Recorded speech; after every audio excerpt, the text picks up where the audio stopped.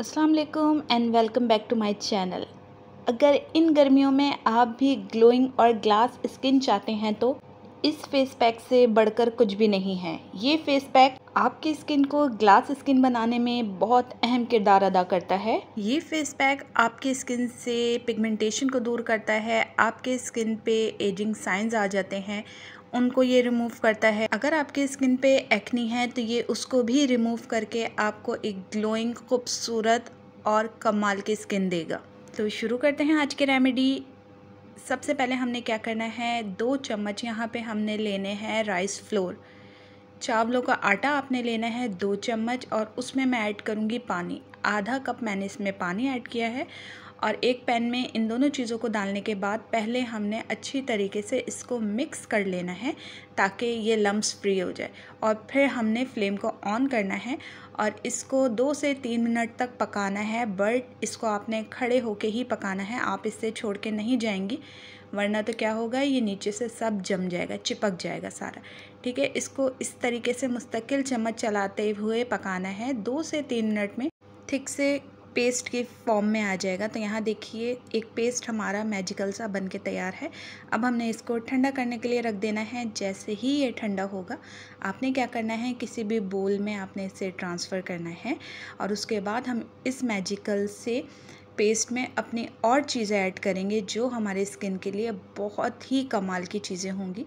और हमारे स्किन पे बहुत ही कमाल का रिज़ल्ट देंगी। इस फेस पैक के इतने बेनिफिट्स हैं कि जितना मैं कहूँ, उतना कम है। ये फेस पैक आपको ग्लासी स्किन देगा। जैसे कि हर लड़के और लड़का चाहता है कि उसकी स्किन बेदाग हो शाइन करे तो ये इंशाल्लाह आपको ऐसा ही रिज़ल्ट देगा। इसमें देखिए, मैं सबसे पहले ऐड करूँगी एक चम्मच एलोवेरा का जेल अगर आपके पास फ्रेश हो, वो ऐड कर दें। मार्केट वाला हो, वो ऐड कर दें। कोई मसले वाली बात नहीं है। उसके बाद इसमें मैंने ऐड किया है एक चम्मच शहद। शहद ऐड करने के बाद हमने क्या करना है? इसमें ऐड करना है कोकोनट ऑयल दो चम्मच हमने इसमें भर के कोकोनट ऑयल डालना है। और ये तमाम चीज़ें हमारे स्किन के लिए बहुत ज़बरदस्त सा काम करती हैं हमारे स्किन को, ग्लास स्किन बनाने के लिए। स्किन पे दाग, धब्बे, स्पॉट होते हैं, ओपन पोर्स होते हैं, उन सबको श्रिंक करने में ये मदद करती हैं।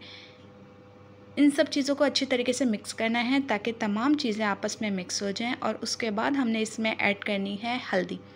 आपने आंबा हल्दी ऐड करनी है आधा चम्मच अगर आपके पास ना हो तो फिर आपने अपनी किचन वाली ही हल्दी ऐड कर देनी है। ऐड करने के बाद इसको अच्छे तरीके से मिक्स करना है। ये तमाम चीज़ें हमारी स्किन के लिए बहुत ज़बरदस्त हैं। जितने भी ब्यूटी प्रोडक्ट आप बाज़ार से लेते हैं या आप क्रीम्स लेते हैं महँगे महँगी उनके इंग्रेडिएंट्स आप पढ़ा करें। उसमें ये इंग्रेडिएंट्स लाजमी यूज़ होते हैं, जो हमारे घर में, हमारे किचन में मौजूद होते हैं बट हमें उसके बेनिफिट्स नहीं पता होता, इसलिए हम बाज़ार से केमिकल वाली और महँगी महँगी चीज़ें लेके अपने स्किन पे अप्लाई करते हैं और स्किन को और नुकसान देते हैं। तो बेहतर है कि आप घर की रेमेडीज़ ट्राई किया करें नेचुरली जो आपकी स्किन को नुकसान ना दें। देखिए मैजिकल सा फेस पैक बन के तैयार है। आपने अपने फेस को वॉश करना है और इस तरीके से इसको फेस पे अप्लाई करना है। थोड़ा ज़्यादा क्वांटिटी में इसे लेके आपने अपने फेस पे अप्लाई करना है और फिर आपने इसका मसाज करना है अपने पूरे फेस पे नेक पे। आप चाहें आप इसे बॉडी पे, अपने पैरों पे हर जगह इसे अप्लाई कर सकते हैं। जैसे ही ये सूख जाए देन आपने इसे वॉश आउट कर लेना है। तो देखिए, मैं इसे आपको वॉश करके दिखा रही हूँ। इसका इतना कमाल रिज़ल्ट था। फ़र्स्ट एप्लीकेशन में ही आप इसे इस्तेमाल करें और इसका फिर आप रिज़ल्ट देखिएगा इन आप मुझे दुआएँ देंगे। अब मैं अपने हाथ आपको साफ़ करके दिखा रही हूँ तो यहाँ देखिए, कितनी सॉफ्ट और ग्लोइंग मेरी स्किन हो गई थी। जैपनीज स्किन का राज यही है। कोरियन लोग अपने स्किन पे बहुत ज़्यादा राइस फ्लोर यूज़ करते हैं। तो यहाँ आप मेरी स्किन पे इसका रिज़ल्ट देख सकते हैं। इन ऐसा ही रिज़ल्ट आपको आपके फेस पे भी मिलेगा। गर्मियों में जितनी प्रॉब्लम्स हैं, आपकी स्किन की दूर हो जाएँगी।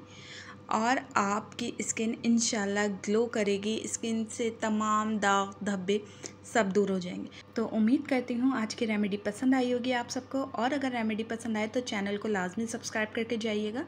तो मैं मिलूँगी नेक्स्ट रेमेडी में, जब तक अपना ख्याल रखिएगा। अल्लाह